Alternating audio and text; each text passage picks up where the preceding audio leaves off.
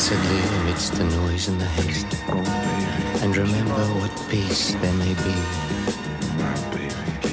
in silence.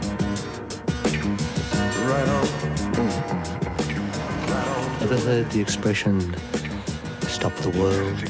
I want to get off. Well, my name is Ken Sherry, and I got off in Sunray. Excuse me for interrupting, but my sister Vicky Ann is looking for a boyfriend, and we live right next door to you. I see. I don't like it. Welcome to Sunray.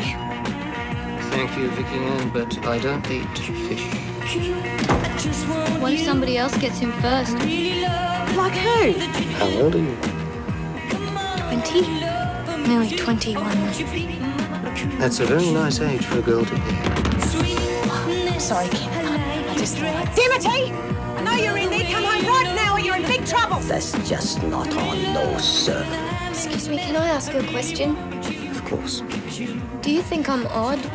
I'm no more odd than anyone else. We're all odd. You're not odd.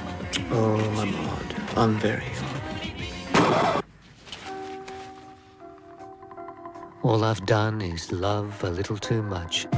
Would you like to come in and ease my loneliness for me? Take the receiver off. No longer my sister. And a little too hard. What if I were to ask you to take your clothes off right now? baby, you and me. Right now? Sure. And Just for like- that, I've been tried and executed many times over. Help me.